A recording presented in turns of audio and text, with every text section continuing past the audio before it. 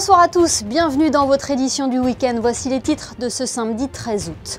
Avec ou sans permis, la location de bateaux à le vent en poupe, l'activité est en hausse, comme nous le confirmera une professionnelle du secteur, Alice Bougot, dans quelques instants. C'est une façon pratique et avantageuse de visiter la principauté. Monaco le Grand Tour offre la possibilité de découvrir tous les hauts lieux touristiques monégasques en bus. Nous vous emmènerons à bord. Lundi, nous serons le 15 août, jour de l'Assomption. L'abbé Christian Venard sera avec nous pour évoquer l'une des grandes fêtes de la vie religieuse qui célèbre la Vierge Marie.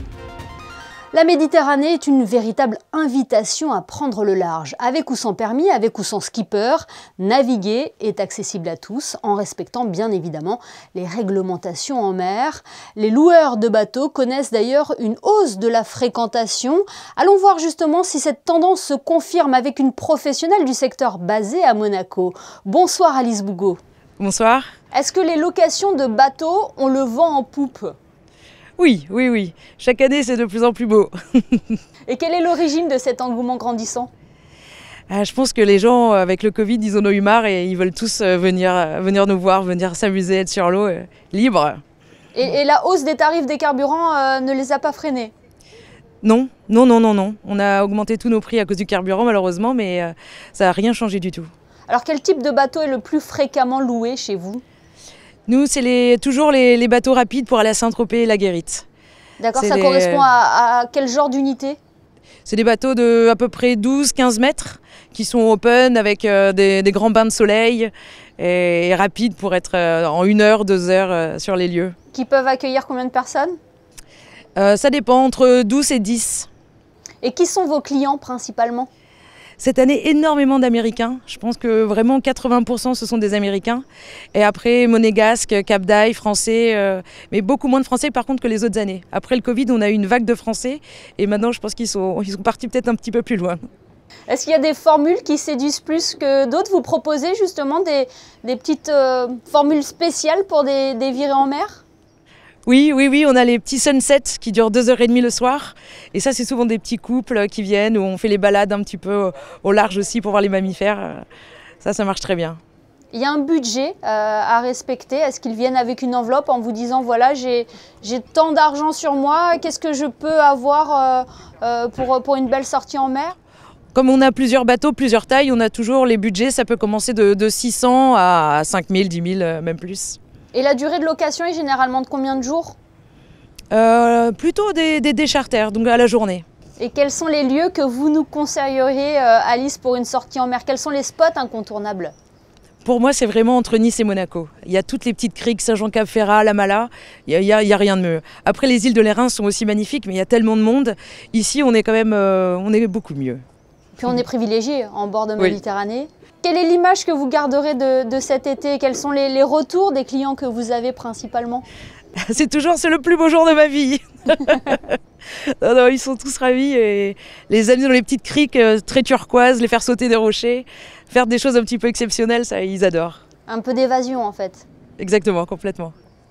Bah, merci beaucoup Alice Bogo d'avoir été avec nous ce soir pour ce petit moment euh, d'évasion. Avec plaisir. Et justement, ce moment d'évasion, nous voulions également vous le faire vivre. Une équipe de Monaco Info a vécu l'expérience d'une des formules proposées par Alice Boat, embarquement avec Christine Datomel et Horatio Gagino.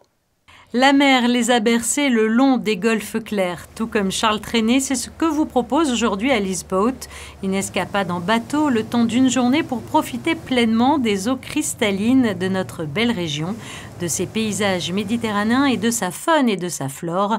À bord, tout est prévu pour vous faire passer une journée inoubliable et le capitaine se plie en quatre pour satisfaire tous vos besoins. Tout est pour le passager. Il doit passer un moment magnifique, il doit s'en rappeler toute sa vie.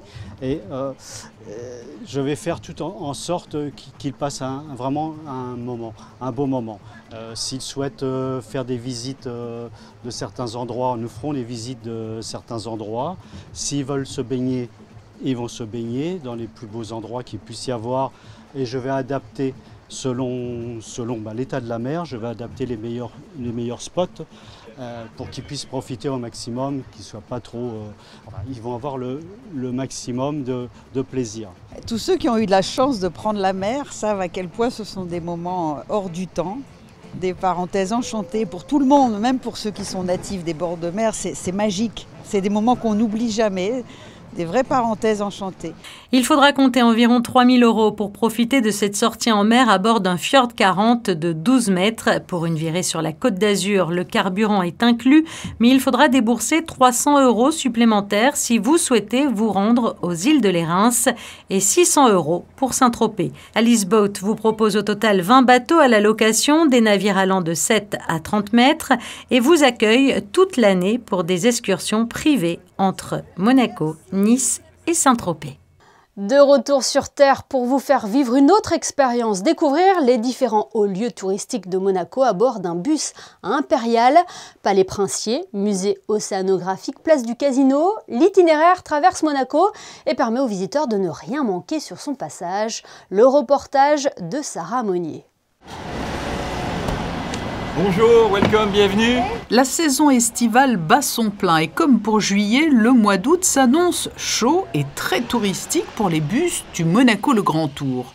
Un moyen de transport rapide et efficace qui trouve un second souffle depuis le retour d'une clientèle étrangère désireuse de découvrir les paysages et l'histoire de Monaco.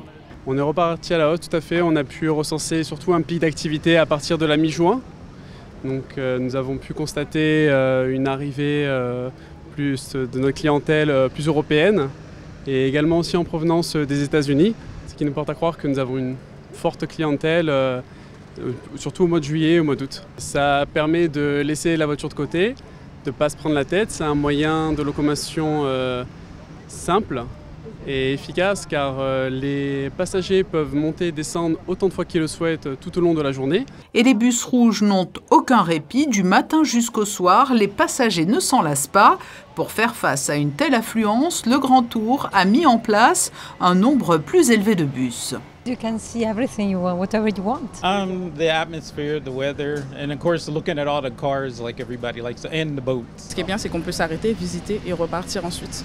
Ce qu'il n'y a pas euh, que j'ai déjà fait sur région, en région parisienne, par exemple, où on fait le tour et puis c'est tout. Alors que là, on peut s'arrêter, faire et reprendre le bus ensuite après, euh, par la suite. On a fait euh, le palais, donc on a été au casino et puis là, ben, on va voir un peu le reste, mais assis. Et là, on va s'arrêter pour la roseraie, justement. Ça fait au moins quatre fois qu'on prend le bus depuis ce matin. On s'arrête, on fait des arrêts et on, on visite en même temps, donc c'est bien. Si la vue attire bon nombre de passagers, c'est le format qui séduit. Des passes de un ou deux jours sont mises en place ainsi que des partenariats. Les clients munis de ces derniers pourront bénéficier de tarifs spéciaux avec le musée de l'automobile et le musée océanographique. Dans le reste de l'actualité, fortune diverse pour Venturi Racing au e-prix de Séoul. Luca Di Grassi a signé la troisième place de cette première course de l'histoire de la Formule E en Corée. Ce podium permet à l'écurie monégasque de marquer des points au classement constructeur. Elle est actuellement deuxième et tentera d'aller chercher le titre demain lors de la dernière course de la saison. En revanche, désillusion pour Eduardo Mortara qui a laissé filer ses chances de titre mondial. Le pilote Venturi a été contraint à l'abandon en cours de course. Au championnat d'Europe à Munich, Quentin Antonielli a fini cinquième de la demi-finale AB. Demain, à l'aube de ses 28 ans qu'il fêtera le 15 août, le rameur monégasque retrouvera notamment en finale B le médaillé d'argent de Tokyo, le Norvégien Bosch. Finale à suivre à 10h30. Le 15 août, c'est lundi, jour qui correspond également à l'Assomption. Justement, intéressons-nous à la symbolique et aux origines de cette fête religieuse avec l'abbé Christian Venard. Bonsoir. Bonsoir. C'est bel et bien la Vierge Marie qui est à l'honneur le 15 août. Hein. oui, oui, oui, c'est la fête, la grande fête, la solennité de l'Assomption de la Vierge Marie, qu'il ne faut pas confondre avec l'Ascension de Jésus, son Fils, bien sûr. Oui, parce que ce sont deux termes différents. L'Assomption, euh, c'est enlever et l'Ascension, c'est monter, c'est cela? Exactement. C'est-à-dire qu'à l'Ascension, Jésus qui est Dieu, qui est le Fils de Dieu, remonte vers son Père. À l'Assomption, ce que nous fêtons, c'est Marie qui, au moment où elle arrive à la fin de sa vie terrestre, elle remonte vers le ciel avec son corps et son âme. Nous, quand nous mourrons, eh bien, il y a une séparation, c'est la définition même de la mort, entre notre âme, ce principe spirituel, et notre corps. Et puis, très, très tôt, alors c'est pas dans les évangiles, on va pas trouver ça dans les évangiles, mais très, très, très, très tôt, dans la vie des chrétiens, il y a eu cette idée profonde de dire que le corps de celle qui avait porté le Fils de Dieu, Jésus, ne pouvait pas connaître la corruption. Et donc très très tôt, il y a eu cette tradition que Marie avait été enlevée corps et âme vers le ciel. Alors en Orient, c'est une fête qui est célébrée au moins depuis le 5e siècle. En Occident, c'est depuis le 7e siècle. Nous croyons vraiment que Marie est montée au ciel avec son corps et avec son âme. Et comment pourrions-nous qualifier cette fête? C'est une fête de, de paix, de communion? C'est vraiment une fête qui est centrée sur la figure de Marie. C'est une fête de joie, euh, à plus d'un titre c'est une fête de joie parce que en contemplant Marie qui monte vers le ciel, on voit deux éléments. Le premier, c'est notre propre futur à nous. Nous aussi, un jour, à la suite du Christ, à la suite de Marie, nous monterons au ciel. Et puis, un deuxième élément de joie, c'est que en Marie, nous voyons notre maman du ciel, comme on aime l'appeler. On voit cette, cette Vierge Marie, cette maman de Jésus, qui est notre protectrice à tout, à tous. Et vous savez que dans notre grand pays voisin et ami, la France, pendant très longtemps, ça a même été la fête nationale du royaume de France, puisque euh, Louis XIII avait fait un vœu s'il pouvait avoir un fils, euh, et ce sera Louis XIV, hein, Louis le Dieu donné, eh bien de consacrer le royaume de France à la Vierge Marie. Et mon père, quelle image ont les fidèles de, Marie? Je crois que Marie, pour chacun d'entre nous, et je crois qu'on en a tous plus ou moins fait l'expérience, en tout cas moi je l'ai souvent entendu dans des, dans des confessions, dans des confidences, on a l'impression qu'on peut tout lui raconter, un peu comme habituellement, on peut tout raconter un peu à sa maman. Et euh, c'est vrai que parfois, c'est plus facile d'aller dans la prière, d'aller vers Marie. C'est pour ça que beaucoup de fidèles catholiques aiment énormément euh, la prière du chapelet. Et vous savez que dans toutes les grandes apparitions mariales qui ont été reconnues par l'Église catholique, à chaque fois, la Sainte Vierge a recommandé cette prière du chapelet, qui est une prière toute simple où on égrène les Je vous salue Marie. Et ce qui me fait penser aussi, vous savez qu'en France, c'est aussi un, très grand moment à Lourdes, hein, où c'est le grand pèlerinage national euh, à Lourdes. Et on voit bien que cette image de la Vierge Marie, c'est une image qui nous parle à tous, parce que c'est une humble jeune femme qui donne naissance à un Dieu et dont le sort euh, a, a bouleversé l'humanité tout entière. Mon père, vous avez évoqué le pèlerinage à Lourdes. Pourquoi l'Assomption est souvent associée à ce pèlerinage?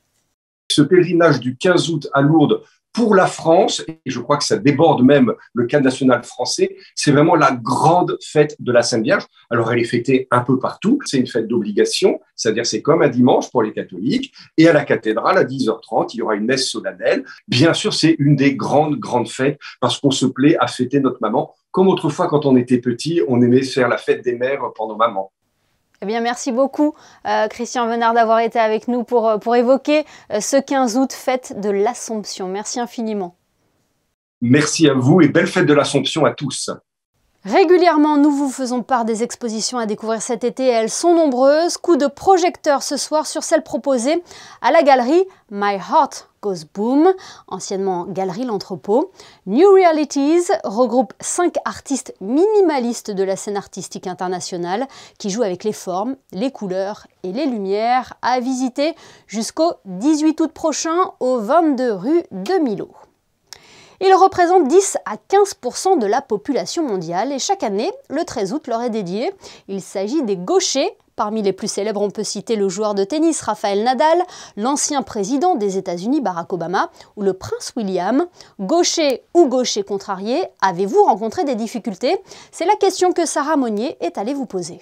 On a essayé de m'attacher la main gauche dans le dos, mais c'est tout pour écrire de la main droite et tout. Non, je pense pas. Il n'y a pas de problème en particulier à être gaucher. Après, ça dépend de l'apprentissage que les parents euh, donnent évidemment pendant l'enfance, mais pas de problème en particulier, je pense. J'écris bien déjà, mais c'est tout.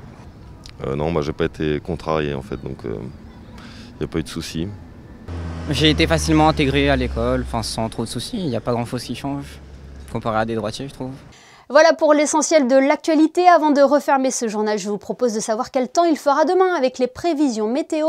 Quelle est la tendance pour la journée de dimanche, Frédéric Elion Le ciel sera assez chargé le matin, Émilie, puis les nuages disparaîtront au fil de la journée pour laisser place au soleil. Le vent soufflera moins fort que la veille et côté température, il fera 22 degrés le matin et 28 l'après-midi. Si vous décidez de passer le dimanche à la plage, l'eau sera 27. Dimanche 14 août, nous fêterons les Évrards. Évrard, un prénom très rare. Ce journal est à présent terminé. Merci de nous rester fidèles, y compris le week-end. On se quitte avec les photos de Manuel Vitali, qui a constaté beaucoup d'engouement autour des sculptures emblématiques de Monaco. Certaines sont incontournables, d'autres attisent la curiosité, mais elles font toutes de beaux clichés pour accumuler les souvenirs d'un passage en principauté. Passez une excellente soirée, un très bon week-end et un très bel été sur Monaco Info.